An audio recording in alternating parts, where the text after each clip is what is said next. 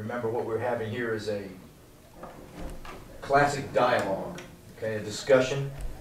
We are not situated in a circle by coincidence. What we want to do by sitting in a circle is have everybody look at each other, okay? This is not a discussion that runs through Miss Rahimi or me. So you need, so it's ideal to look each other in the eye as you're speaking, okay? Speak clearly and loudly so others can hear what you have to say.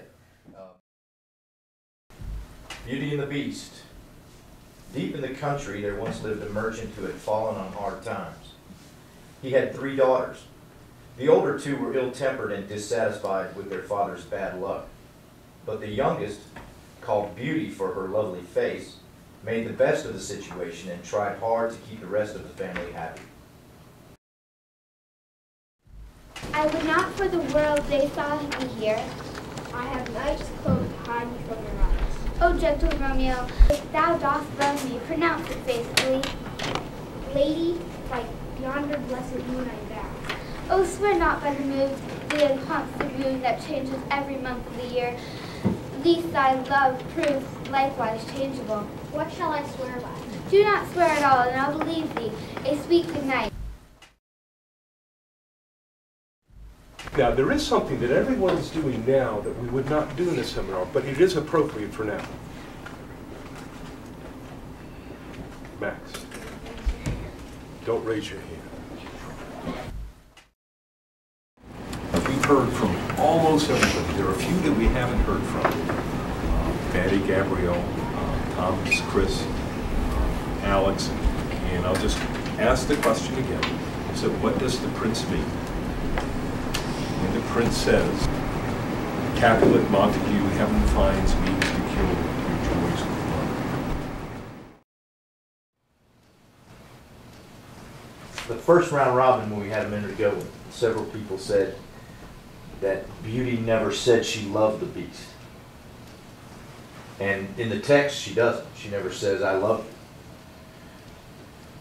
But then we went around and said that she did have romantic love for him because they decided to get married and, and lived happily ever after and whatnot. How does, does, how does Beauty come to realize that she loves him?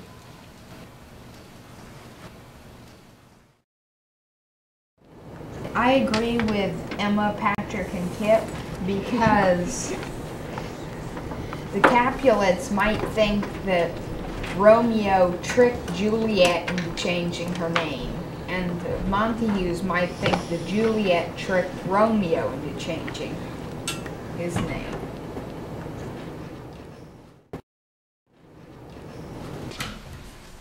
I agree with uh, Roxana's comment because she um, she made a good point about that she was with her father because her father was sick, and she had a dream that the beast was um, getting sick and he was in the garden that laid down and he about to die, and then she realized that she really did love the beast and she wanted to be with him, and then she took off that ring and um, when she woke up she was in her old place with the beast. And then she found him in the garden like her dream had been, and he, um, she said that she wanted to live with him and marry him and happily ever after.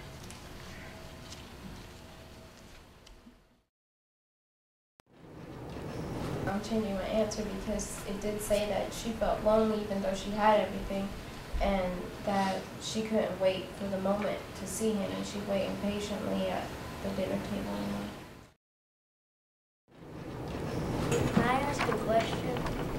How um, did they start hating each other?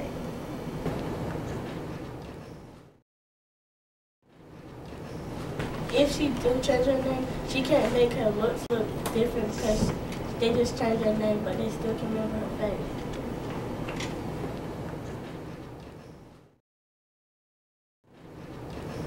all they want to do is get married, but since their families hate each other, they can't do that. So it's better if they just excommunicated themselves from their families.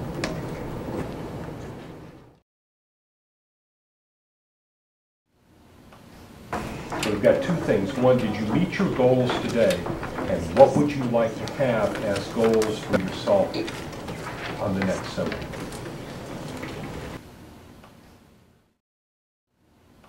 I want you to write a yes or a no next to your individual goal. Did you meet your goal or did you not?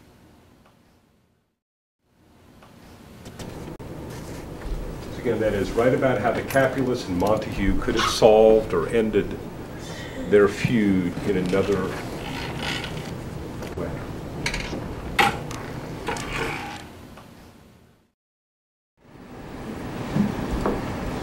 As we close this up, I want you to think about in your own life. It what challenges do you face that are similar to what Romeo and Juliet